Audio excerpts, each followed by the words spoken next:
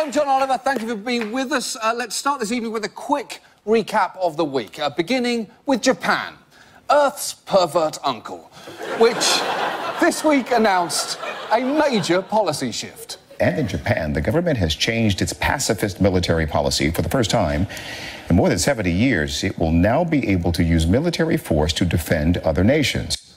Wow, that, that is a major shift, but I think the bigger news here is that apparently Japan has had a policy of pacifism for nearly 70 years.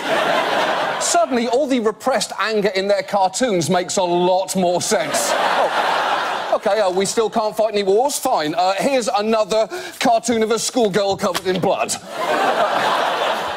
In fact, many Japanese citizens were extremely angry about this policy shift, taking to the streets in protest, waving signs depicting their prime minister as Hitler. And I tell you who I feel sorry for there Tojo.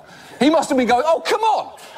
You needed a mustachioed World War II war criminal at a Japanese protest, and you go with Adolf? I attacked Pearl Harbor! What do I have to do to be a shorthand for evil? It's not fair! I earned it! In, in this atmosphere, the Japanese military may struggle to attract recruits, were it not for a secret weapon. A recruitment video featuring one of the members of the Japanese pop group AKB 48. And by the way, a fun fact about AKB 48 they have over 100 members. Uh, there is the cute one, the quiet one, the funny one, the smart one, the 16 giggly ones, the two comatose ones, uh, the glass eye one, the one no one likes, the 23 sassy ones, and the 62 year old man posing as a 19 year old girl one. He's my favourite. He's my favourite. And before you make fun of this probably not being effective, just wait until you see how catchy their songs are.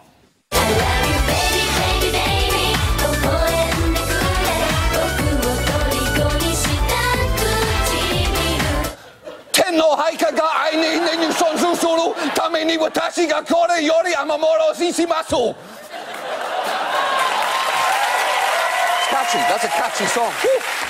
That is a catchy song. Um,